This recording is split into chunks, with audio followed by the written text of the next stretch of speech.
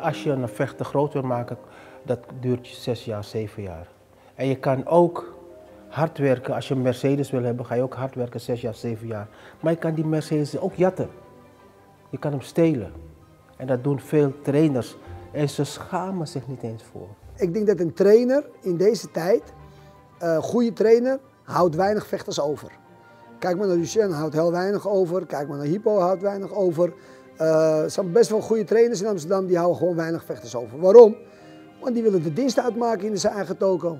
En bij heel veel vechters, zodra ze kampioen worden, dan gaan ze naast hun schoenen lopen. En dan heeft zo'n vechter vaak veel meer te vertellen, de sportschool. Want degene die die vechter heeft gestolen is bang dat hij weer weggaat. Dan krijg je met een slijmcampagnes. Als je die verhalen hoort, ik zeg je naam noemen, daar zou je kotsmisselijk van worden. Dan willen, ze, dan willen zij zelf de dienst uitmaken. Nou, dat kan niet. Want toen jij nieuweling was, of toen jij jeugd was, of toen jij B-klasse was, toen luisterde je altijd en toen deed je dingen wat de trainer zei. En nu ben je ineens kampioen. nu wil jij dienst uitmaken in mijn gym. Nou, dat kan dus niet. En bij sommige scholen kan het wel. Nou ja, dan gaan ze erheen. En dan wens ik ze altijd succes.